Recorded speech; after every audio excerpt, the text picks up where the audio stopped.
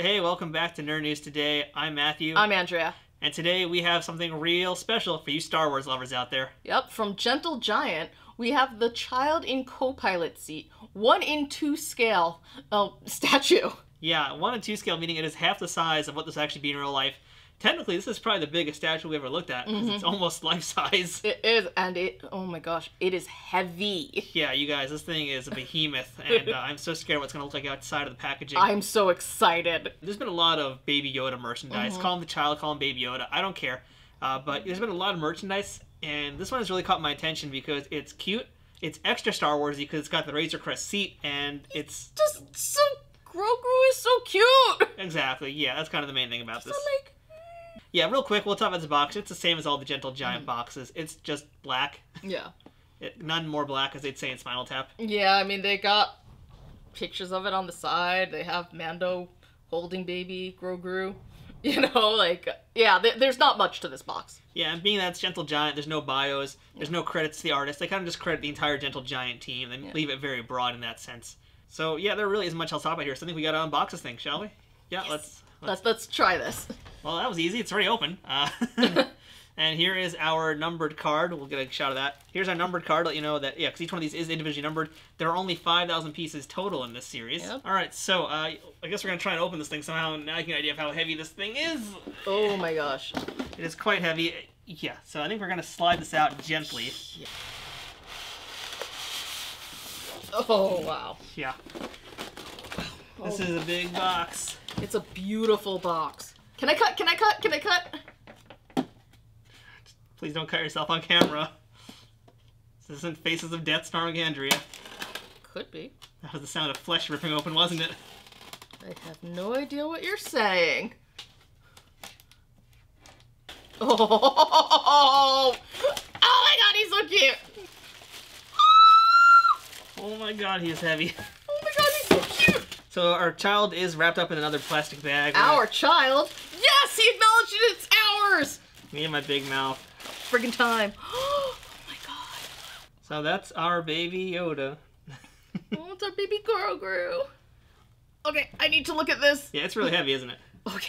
Yeah, we're not. Uh, we're just not going to use the green screen at this point. We're just calling it here. Wow. Oh yeah, wow is one way to put it. So yeah, as we mentioned at the start of this video, this is a one to two scale.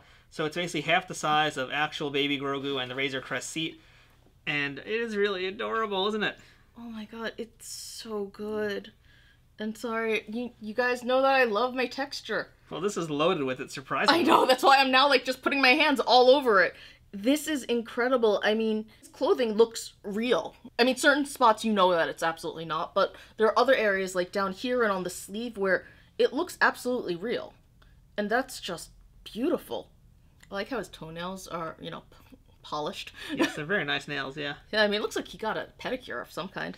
Yeah, there's different types of texture on him too. I mean, there's the texture of the more furry part on Mm-hmm. his sleeves and his collar. Then there's whatever this kind of almost like burlap rough material is for the rest of the piece Yeah. there.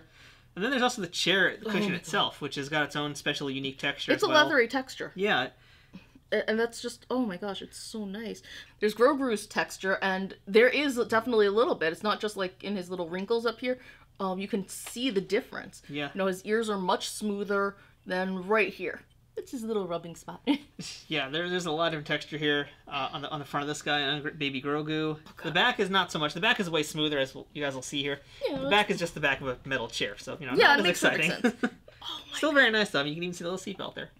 He's so cute oh god i'm like gonna stick my finger in his eye Yes, that's kind of the cool thing is the eyes are reflective. as Well, I don't know if you caught on to that, but they're reflective. Mm-hmm. really i'm looking at myself in the eye so yes yes i've caught on to it Yeah, it's pretty awesome.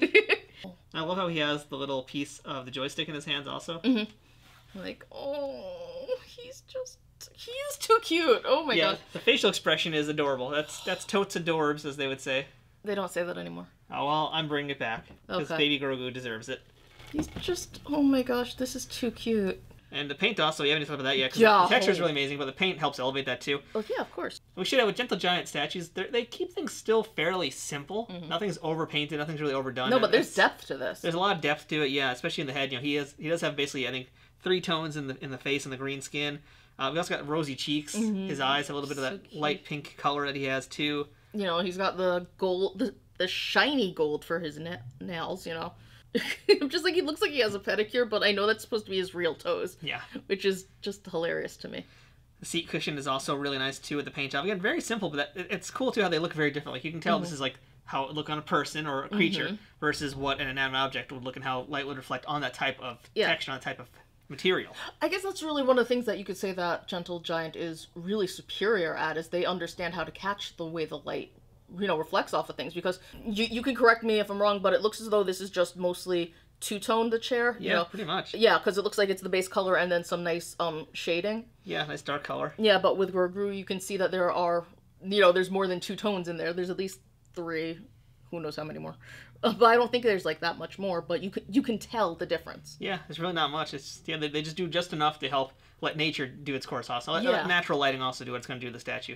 Oh, even with his clothing, there's definitely a little bit of something going on there, but it's not much. Yeah, it's very minimal, and that's why it works. Also, Yeah. it's not overdone whatsoever. They know how to do this right. Now, the choice of pose, too, it's very whimsical, very Mm-hmm. fun, very lighthearted.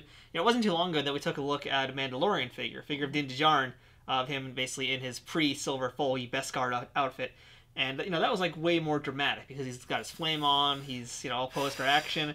He's so dramatic. Yeah, that sounds like Din. But meanwhile, Baby Yoda's, like, ready to play and just having the time of his life in the seat. Yeah, I know. He's all like, all's good. Yeah. Like, dude, chill out. That's part of why he's Baby Yoda because he's lighthearted and fun. I feel like him in the chair, though, scale-wise might be wrong. Because I feel like he was smaller than the chair in the series, right? Was it me, or, or what do you think here? I Well, mean, he is smaller than the chair here. small, but even at this, you know, keep in mind it was double the size. Does, No, no, no. I think this right. this looks right. I feel like he would have been a little bit smaller. No, I think this is right. Cause it still looks fine either way. And the thing is, even if he was, even if he was a little bit smaller, I think this is the pr- the proper scale for this statue. I have no problem with them scaling him up a little bit if that's what they did. I don't think they did. No, I think yeah, I think for the most part, I mean, I'm okay with how it looks. It's not like it's gonna throw me off that much. this is just so cute. It is amazing though how dense feeling the statue is. Consider how small Oh it is and how God. solid this thing is. You could crush a man's head with this. Oh yeah. You know how we joke about how, you know, some of these statues can be can easily be used as weapons? This one can, but it's actually too heavy to comfortably lift. This is more of a Home Alone trap when you have time to prepare Yes. for invaders. Yes, this is where it comes swinging down, whacks him in the face instead of a paint bucket. Exactly. Oh, that would actually be hilarious. Think about it. It's not it's not a paint bucket. It's Baby Yoda. You've been charged with manslaughter, death by child statue. Death by the child. Either way, I mean, but oh gosh, yeah, this has some serious Don't get a hernia trying to lift that thing. To be fair, I actually put it down on my finger earlier, and that was a mistake. That, that yeah, hurt, yeah, hurt. that that was bad. Uh, yeah, and again, like you know, the we should also talk about the base a little bit too. The base is very simple. Uh, it's It looks like it belongs in the ship. pretty much yeah. I was trying to figure out if it was like any certain symbol of anything, but no, it's just kind of part of the ship, I Yeah. guess. It's yeah. Uh, it's it's nice, you know. I feel like you're not gonna ever really see the back of this thing much, but it is very nice too. It's really Yeah. cool back, but for the most part, it's gonna be posed basically just like you see it right here. Okay, I know this is such a weird little thing, but since I keep talking about his toes, I just want to point out that the fact that his toes are pointing in different directions, you know, like one foot's up and this one is, you know, a little crooked and it's sticking out. I just think that's adorable and it adds to the lifelike quality of, you know, the child. I agree, because at the end of the day, it is a child, so it's going to be, you know, having its legs akimbo, and it, it feels like it actually would be something we see on screen. Exactly. Like it feels like there's really good movement here. It does, yeah, it feels lifelike. Oh yeah.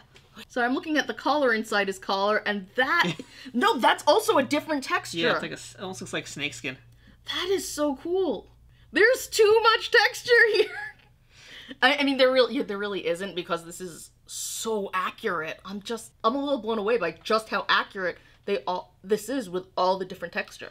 But the big question here is, is it worth the price? Because this is over $200, believe it or not, because this is a limited edition piece, as we mentioned, only 5,000 of these exist, and it is solid. I mean, like I said, it, that's really the big thing is why it's costing so much is because the material, and yeah, I mean, this thing is legitimately very heavy.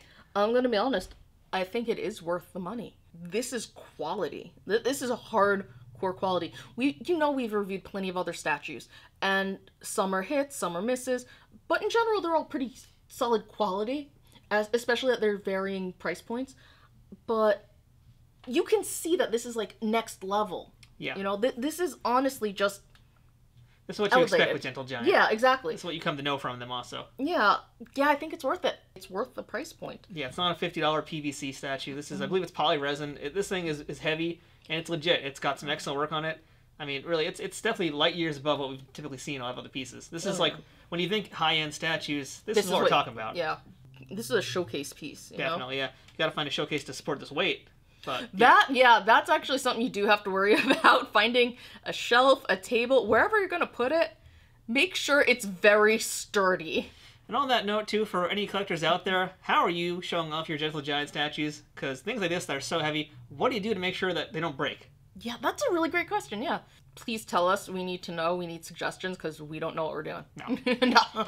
So that is our look at the Star Wars child in co-pilot seat from The Mandalorian. It's got great likeness, great texture, Oh, love the reflective eyes, He's so cute.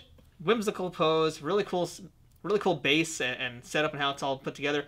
It's an expensive piece, but we agree it's worth the Yeah. money. I'm just like.